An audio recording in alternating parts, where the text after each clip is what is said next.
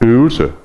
Bestemmelse af massetab ved tilsætning af syre til natriumhydrogenkarbonat. Natriumhydrogenkarbonat kaldes også bagepulver. Formålet med øvelsen er at lære og anvende beregninger med masse, molmasse og antal mol. Det vi gør i øvelsen, det er, at vi tager noget natriumhydrogenkarbonat, vi putter det ned i noget saltsyre, så vil der udvikle sig noget CO2, som vil gasse væk og tilbage i op